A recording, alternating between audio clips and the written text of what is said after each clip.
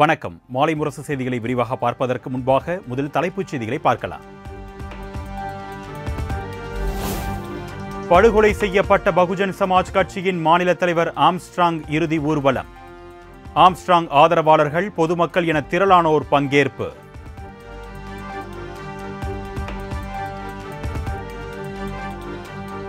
படுகொலை செய்யப்பட்ட ஆம்ஸ்ட்ராங் உடலுக்கு பகுஜன் சமாஜ் கட்சியின் தேசிய தலைவர் மாயாவதி அஞ்சலி. ஆம்ஸ்ட்ராங்கின் மனைவியை சந்தித்து ஆறுதல் கூறினார்.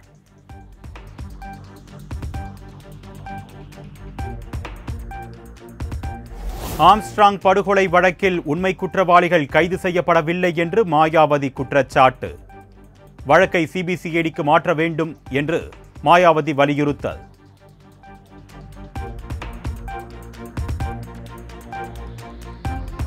ஆம்ஸ்ட்ராங் கொலை வழக்கில் தமிழ்நாடு அரசு தீவிரம் காட்டியிருந்தால் உண்மை குற்றவாளிகளை கைது செய்திருக்கலாம் என்று மாயாவதி கருத்து. தமிழக அரசு சட்டம் ஒழுங்கை சரி செய்ய வேண்டும் என்றும் வலியுறுத்தல்.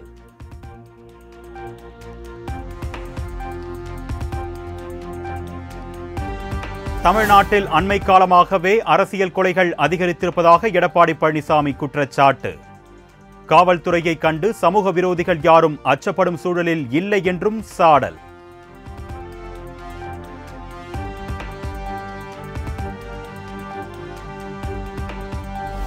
ஆம்ஸ்ட்ராங் படுகொலை ஒட்டுமொத்த தலித் சமுதாயத்திற்கும் பேரிழப்பு என்று திருமாவளவன் வேதனை. தமிழக அரசு துரிதமாக செயல்பட்டு கூலிப்படையை கண்டறிய வேண்டும் என்றும் வலியுறுத்தல்.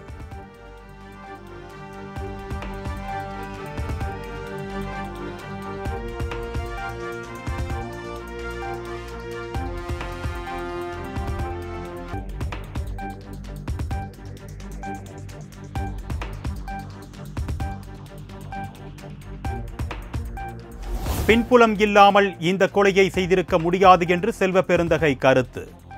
உண்மை குற்றவாளிகளை போலீசார் கைது செய்ய வேண்டும் என்றும் வலியுறுத்தல்.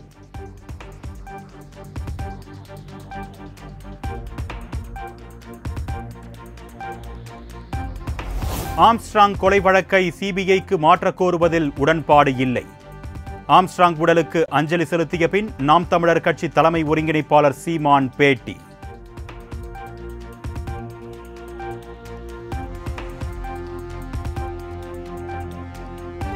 ஆம்ஸ்ட்ராங் படுகொலை வழக்கை சிபிஐக்கு மாற்ற வேண்டாம் என்று ஆம் ஆத்மியின் தமிழக தலைவர் வலியுறுத்தல். மோடியின் கைப்பாவையாக சிபிஐ உள்ளதால் சிபிசிஐடி விசாரணையே போதும் என்றும் கருத்து.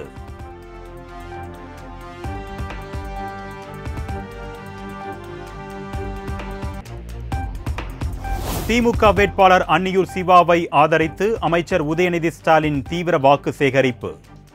ஐம்பதாயிரம் வாக்கு வித்தியாசத்தில் வெற்றி பெற செய்ய வேண்டும் என்றும் வேண்டுகோள்.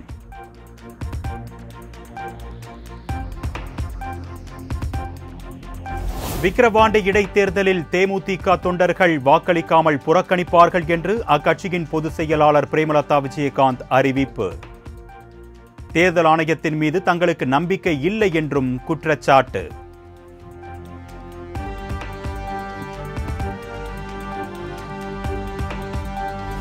ஓபிஎஸ் ஒரு சுயநலவாதி கட்சிக்கு விசுவாசமாக இருந்ததே இல்லை என்று அதிமுக பொதுச் செயலாளர் எடப்பாடி பழனிசாமி குற்றச்சாட்டு.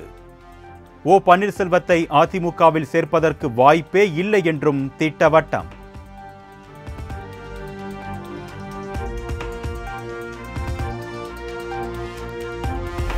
நான் துரோகி அல்ல துரோகத்தின் மொத்த உருவமே அண்ணாமலைதான் என்று எடப்பாடி பழனிசாமி விமர்சனம். அண்ணாமலை போல் ஞான் நியமன தலைவர் அல்ல தொண்டர்களால் தேர்ந்தெடுக்கப்பட்டவன் என்றும் சாடல்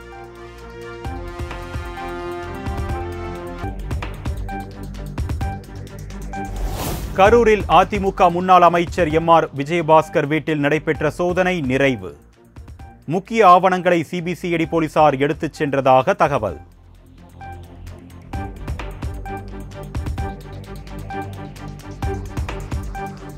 செங்கல்பட்டில் பலத்த சூறைக்காற்றுடன் கொட்டி தீர்த்த கனமழை. பல்வேறு இடங்களில் மின் இணைப்பு துண்டிக்கப்பட்டதால் பொதுமக்கள் அவதி.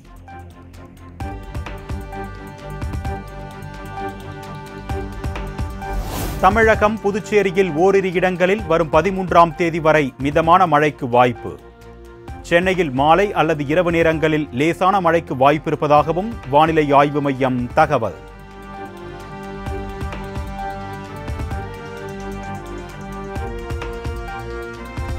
சேலம் மாவட்டம் எடப்பாடி அருகே ஆன்லைன் ரம்மியில் பணத்தை இழந்த விசைத்தறி தொழிலாளி தற்கொலை. ஐந்து லட்சத்திற்கு மேல் இழந்ததால் விபரீத முடிவு.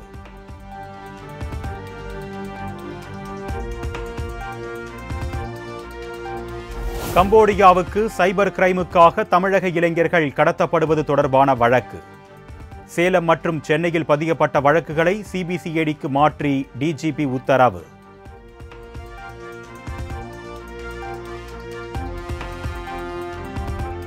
ஒடிஷா பூரி ஜெகநாதர் கோவிலில் ரத யாத்திரை கோலாகலம். லட்சக்கணக்கான மக்கள் திரண்டிருப்பதால் பாதுகாப்பு ஏற்பாடுகள் தீவிரம்.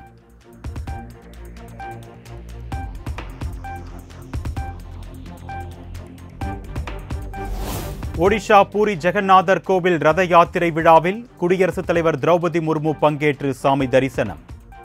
ஒடிஷா மாநில முதலமைச்சர் மோகன் சரண் மச்சி மற்றும் மத்திய அமைச்சர் தர்மேந்திர பிரதான் உள்ளிட்டோரும் வழிபாடு.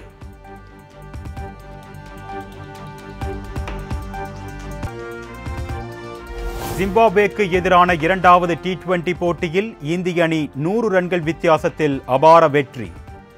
அதிரடியாக விளையாடிய அபிஷேக் சர்மா நாற்பத்தாறு பந்துகளில் சதமடித்து விலாசல்.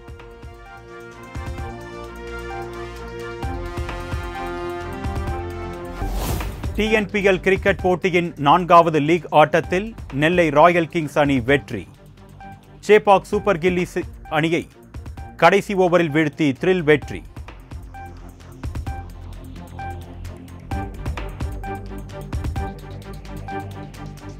விடாமுயற்சி படத்தின் இரண்டு புதிய போஸ்டர்கள் வெளியீடு.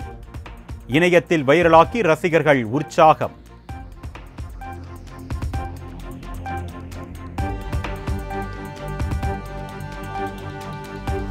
டிடி ரிட்டர்ன்ஸ் படத்தின் அடுத்த பாகம் பூச்சையுடன் தொடக்கம்.